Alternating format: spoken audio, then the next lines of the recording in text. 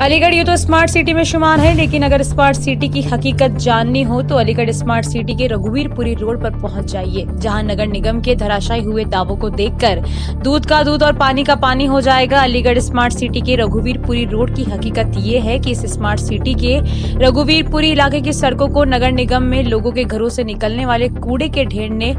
पाट दिया है। आलम यह है कि कूड़े के ढेर में पड़ी पॉलिथीनों को सड़कों पर घूमने वाले आवारा गोवंश इस कूड़े के ढेर से चुन चुन कर पॉलिथीन को ज़बरदस्ती चबा चबा कर अपना पेट भरने का काम कर रहे हैं, जबकि अलीगढ़ जिला देश प्रदेश में फैल रहे डेंगू से बिल्कुल भी अछूता नहीं है और ज़िले की सड़कों पर जमा हुई इस गंदगी और जल भराव में पनप रहे डेंगू के जहरीले लार्वा और लार्वा से बने डेंगू के डंक से अब तक सौ से ज़्यादा लोग अपनी जान गंवा मौत के शिकार हो चुके हैं। वहीं स्वास्थ्य विभाग के आंकड़ों के अनुसार ज़िले में डेंगू पॉजिटिव मरीजों की संख्या 300 के पार है, जिससे सड़कों पर पड़े इस कूड़े के ढेर से डेंगू का खतरा और ज़्यादा बढ़ गया है।